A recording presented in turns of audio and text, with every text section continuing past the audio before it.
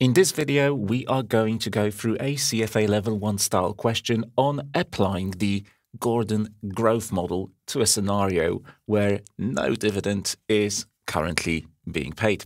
I'm confident that in the exam you will need to answer at least one question on the Gordon growth model. It's just such an important valuation framework, and the examiner may want to make your life a little bit more difficult by embedding certain challenges into the scenario, such as no current dividend, uh, which is what we're facing in this question, or making you compute the growth rate, G, which is something we'll look at in a separate video. So if this is something you want to get right in the exam, do keep watching and let's get solving. So, this is the question that I want you to have a go at. A company whose ordinary stock does not currently pay a dividend is expected to start doing so in four years' time, with the first dividend estimated to equal 1.28 euro and growing at a constant rate of 5.1% into perpetuity. If investors require a 7.8% rate of return, the stock's intrinsic value is closest to A. 35.11 euro, B 37.84 euro, or C 40.84 euro. Okay, the difficulty that this question realistically poses is one of timing. Many candidates get this wrong because they misinterpret where the outcome of the Gordon growth model fits on a timeline. Let's label today as time 0, end of year 1, 2, 3, 4, and so on. There is no dividend forecast at time 1, 2, or 3 the first dividend of 1.28 euro is going to be paid over here, and that dividend will subsequently grow at 5.1% forever.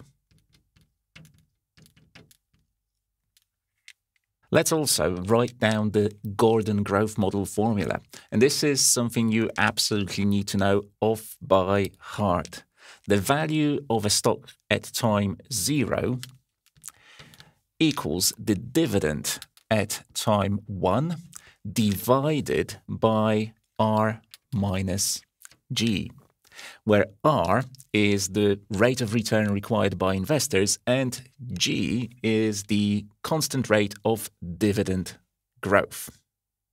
Now, in this question, we don't have D1 there is no dividend being paid over here.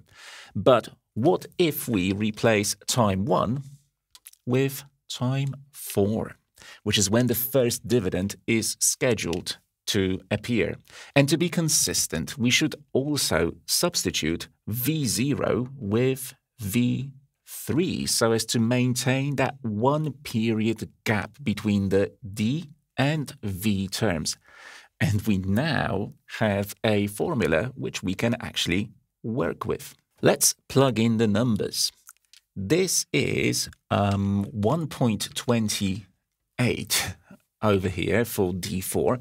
Let's quickly go back to the question to check what R was. Here it is. Investors require a 7.8 rate of return. So 0.078 minus um, G, which I have already got up here, so um, 0.051 or 5.1%. Using my Texas Instruments calculator, 1.28 over open bracket 0.078 minus 0.051 close bracket equals Okay, and I see an answer of 47.407.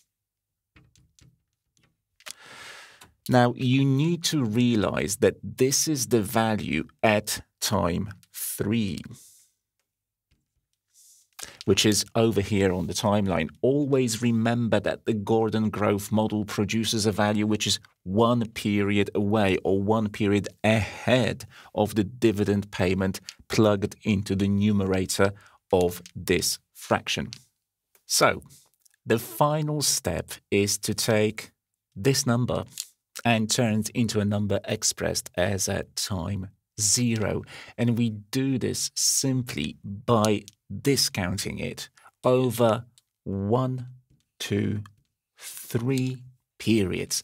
And this is where many people make the really big mistake of discounting over four periods because they incorrectly place this result on the timeline as belonging at time four.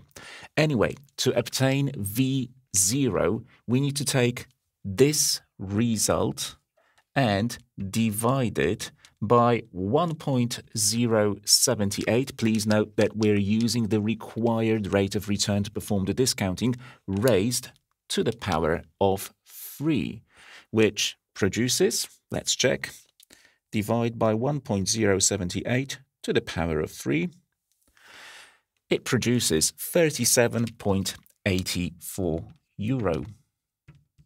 And if we now check this result against the possible solutions, this gives answer B.